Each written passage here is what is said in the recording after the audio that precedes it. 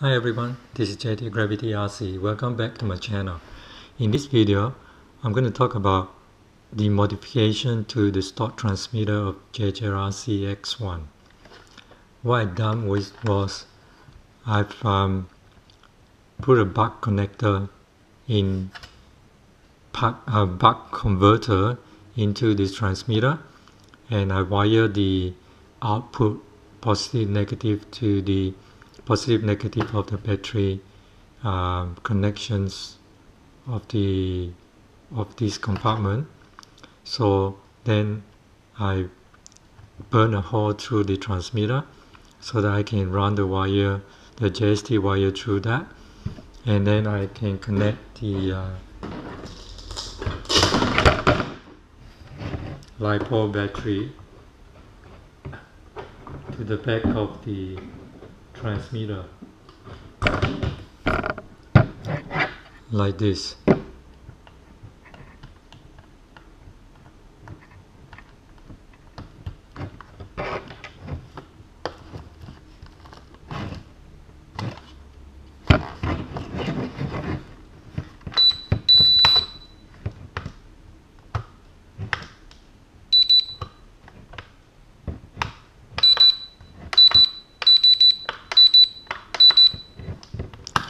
So I think by doing this modification, I think I have solved the issues of the twitchy uh, controls and also the the yaw issues.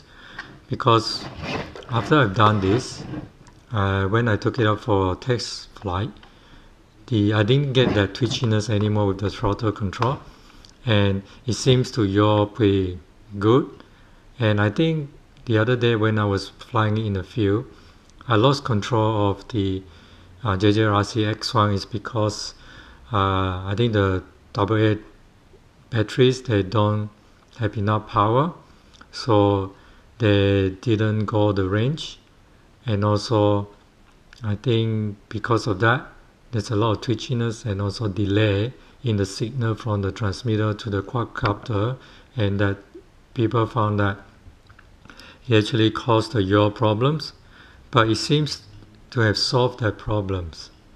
So I'm going to put out the video of how I modify this JJRC X1 and also the test flight of the JJRC X1 with the modified transmitter. So I think I have solved the issues. Have a look at my videos and see what you think and I think that's it for this video. If you have any comments or um, ideas please put your put them in the uh, comment section of this video. Otherwise that's it for now. So hopefully I have solved the problem and you can try the mod yourself and yeah and happy flying so until next time, if you like my video, please like and subscribe to my channel. So this is JT Gravity RC signing out.